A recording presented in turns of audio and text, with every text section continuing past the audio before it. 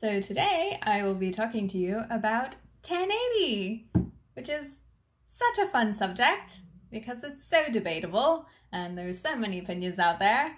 Uh, so I don't, I don't actually genuinely like talking about 1080 because you always got like the tension up uh, when you mention it. But it's part of my project and people need to know what it is, why it's used in Australia uh, when it's been banned in other countries, and uh, really what the debate is about it. So I thought I'd just mention it real quick today, kind of get it over with, so I can do other videos. yeah, so 1080 is um, sodium fluoroacetate.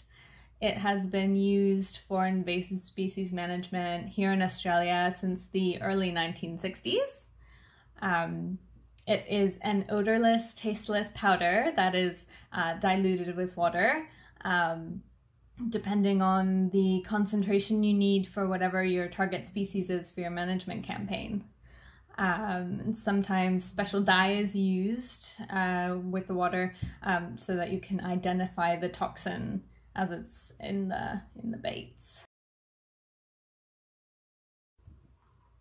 So 1080 has been banned in certain countries such as the United States, but it's still operational here in Australia uh, in invasive species management campaigns around these different states.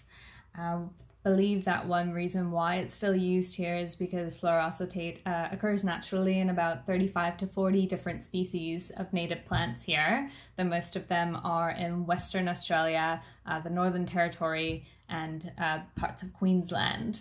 Uh, there's not so many in the southern states, so there are, but it's not so frequent. So that's why it's a bit debatable to use 1080 um, in the southern states. So, what does 1080 actually do? Uh, well, once the toxin is ingested, it won't work until it's been ingested.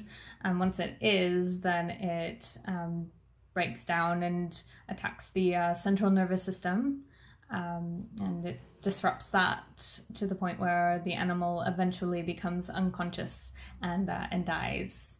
Um, in foxes and dogs, this has been a bit debated because it's it takes a while for the toxin to to take effect. It can take for for dogs and foxes anyway uh, between 30 and 180 minutes to take effect. And when it does, some of the symptoms are physical and it's a bit horrendous uh, to see because um, it leads to convulsions and sometimes foaming at the mouth and most people think that this is the animal uh, in pain.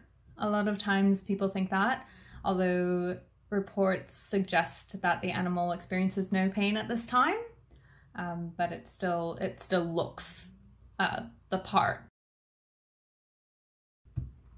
Now, one of the reasons that this debate is so significant is because 1080 baiting is considered one of the most efficient and cost effective options out there for uh, feral cat management. So that's why if the public refuses to use it in all accounts, what do we do? Um, there's other options, of course, but sometimes they're they're more expensive or labor intensive or both. Um, and so we're, we're trying to determine what what direction to go in if if 1080 is not accepted. Um, or also see if the public would be willing to pay, willingness to pay for um, not using 1080, basically. Uh, what would you be willing to pay to use these other techniques that are more expensive as opposed to using 1080? Um, so these are the questions that we're trying to answer right now. Um, trying.